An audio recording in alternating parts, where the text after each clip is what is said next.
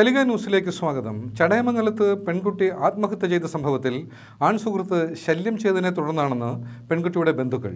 കുട്ടി ഒൻപതാം ക്ലാസ്സിൽ പഠിക്കുമ്പോഴാണ് ഇയാളുമായി സൗഹൃദത്തിലാകുന്നത്. ഇയാൾ പെൺകുട്ടിക്ക് ഫോൺ വാങ്ങി നൽകിയിരുന്നു. കുട്ടി ഒൻപതാം ക്ലാസ്സിൽ പഠിക്കുമ്പോഴാണ് ഇയാളുമായി സൗഹൃദത്തിലാകുന്നത്. ഇയാൾ പെൺകുട്ടിക്ക് ഫോണും വാങ്ങി നൽകിയിരുന്നു. കുട്ടിയുടെ വീട്ടുകാർ പലയാവർത്തി ആവർത്തി വിലക്കിയിട്ടും ഇയാൾ കുട്ടിയെ ശല്യം ചേരുന്നതിനെ തുടർന്ന് കുട്ടിയെ കട്ടപ്പനയിലെ ബന്ധുവീട്ടിലേക്ക് മാറ്റിയിരുന്നു. തുടർന്നും ഇയാൾ കുട്ടിയെ ശല്യം ചെയ്തിരുന്നതായി ബന്ധുക്കൾ പറയുന്നു? കാര്യം ഒരു വർഷക്കാലം വരെ ഈ കൊച്ചിനെ ഇവന്റെ ശല്യം മാത്രം ഇവിടുന്ന് കൊണ്ട് ഞാൻ എന്റെ വീട്ടിൽ കട്ടപ്പനെ കൊണ്ട് നിർത്തിയിരുന്നു. നിരന്തരം എന്നിട്ട് ഇവൻ ഫോൺ വിളിയും ശല്യങ്ങളുമായിരുന്നു. അത് കഴിഞ്ഞ് കൊച്ചിനെ ഇവിടെ കോവിഡ് സമയത്ത് ഇവിടെ കൊണ്ടുവന്നു. കൊച്ചിനെ ചേർത്തപ്പോഴും അവനും അവന്റെ കൂട്ടുകാരനും കൂടി ശല്യം ചെയ്യാനായിട്ട് വീണ്ടും വീണ്ടും വന്ന് ഭീഷണിപ്പെടുത്തിയത്.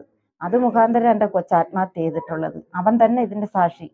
അതുകൊണ്ട് അവനെ നിയമത്തിന് മുമ്പിൽ അവനെ കൊണ്ടുതരണം ഞങ്ങൾക്ക്. അയൽവാസിയല്ല. ഇവിടെ അടുത്ത് അവ എന്റെ കൊച്ച് സ്കൂളിൽ പഠിക്കുന്ന സ്ഥലത്ത് വെച്ച് ഒരു ആനിവേഴ്സറിക്കാണ് ഇവനെ കണ്ടുമുട്ടുന്നത്.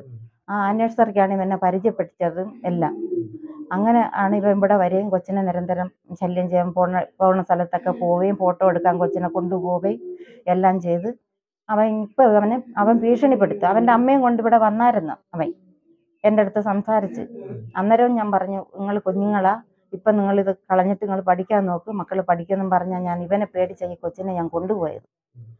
അതുകൊണ്ട് ദൈവത്തെ ഓർത്ത് അവനെ ഞങ്ങൾക്ക് നിയമത്തിന്റെ മുമ്പിൽ കൊണ്ടു തരണം ഇനി ഇവനെ കാരണം ഒരു പെൺപിള്ളേർക്കും ഒരു ദുരന്തം ഉണ്ടാവരുത്.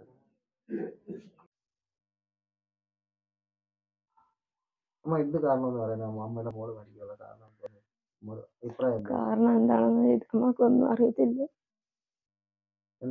ഞാനൊരു കമ്പനി പോയിട്ട് വന്നപ്പോൾ മോൾ ഇങ്ങനെ തൂങ്ങിയിരിക്കുന്ന കാര്യം എനിക്ക് അറിയത്തുള്ളൂ അടുത്തൊരു പയ്യനായിട്ട് എന്താ വിഷയം പയ്യനുമായിട്ടൊക്കെ ഇതിനു മുമ്പ് ഒരു വർഷം വർഷത്തിന് മുമ്പ് പ്രശ്നമൊക്കെ ആയിരുന്നു. അതെല്ലാം മാറിയൊക്കെ പോയായിരുന്നു. ഒരു കുഴപ്പമില്ലായിരുന്നു ഇപ്പം വീണ്ടും അവൻ ഇടക്കാലം വെച്ച് വീണ്ടും അവൻ കൊച്ചിനെ കാണാനും സംസാരിക്കാനൊക്കെ വരുന്നുണ്ട്. പിന്നെ ഫോണിൽ കൂടി മെസ്സേജ് അയക്കുകയൊക്കെ ചെയ്യുന്നുണ്ട്. മോളെ അവൻ ശല്യമാണെന്നല്ലോ പറഞ്ഞിട്ടുണ്ടോ? ശല്യമാണെന്ന് അങ്ങനെയൊന്നും പറഞ്ഞിട്ടില്ല. ഇന്നലെ ഇവിടെ വന്നിരുന്നു? ഇന്നലെ ഞാൻ ഈ പയ്യൻ വന്നിരുന്നു? മെനിഞ്ഞാന്ന് ഇവിടെ വന്നായിരുന്നു. ഈ വഴിയിലോട്ട് കുഞ്ഞ് പരീക്ഷയ്ക്ക് കയറി പോകുമായിരുന്നു അങ്ങോട്ട്. ഇവിടെ കൂട്ടുകാരൻ അവനും കൂടെ വഴിയിലും കൊണ്ട് വെച്ച് കണ്ട് എന്തരാ പറഞ്ഞെന്നും പറഞ്ഞിട്ട് സ്കൂട്ടി കയറി അങ്ങ് പോയി. പിന്നെ ഇവിടെ കാക്കോട്ട് മുത്താരമ്മരുടെ ഒരു ഊണ് അന്നദാനം ഉണ്ടായിരുന്നു. ചോറുണ്ണ മോളും ഞാനും കൂടെ പോയായിരുന്നു. അപ്പോഴും അവിടെ കൊണ്ട് വെച്ച് കൊച്ചിനെ കാണാൻ വന്നെന്ന്. കണ്ടെന്ന് പറയും എന്റെ അടുത്ത് അവന് ശല്യമാണെന്ന് മക്കൾ മോൾ പറഞ്ഞിട്ടുണ്ടോ? ഇല്ല ശല്യമാണെന്നൊന്നും പറഞ്ഞിട്ടില്ല. ഇത് കാരണമാണ് നമ്മൾ ആത്മഹത്യ ചെയ്യാൻ നമുക്ക് അതിനെപ്പറ്റി അറിയാൻ മഞ്ഞ സാറേ? വേറെ വല്ല ഇല്ല അങ്ങനെയൊന്നുമില്ല. പഠിക്കാനൊക്കെ കുഴപ്പമൊന്നുമില്ല. നല്ല ഇതാണ്. നല്ല പഠിത്തത്തിനൊക്കെ നല്ല ഇതാണ്. പരീക്ഷയ്ക്ക് ജയിക്കുമെന്നാണ് പറഞ്ഞത്. പരീക്ഷയുടെ പേടി അങ്ങനെ ഒന്നും ഇല്ല. ഒന്നും പറഞ്ഞില്ല. പരീക്ഷ എളുപ്പമുണ്ടെന്നാ പറയുന്നത്. ലാസ്റ്റ് ലാസ്റ്റ് ഇന്ന് രണ്ടാമത്തത്.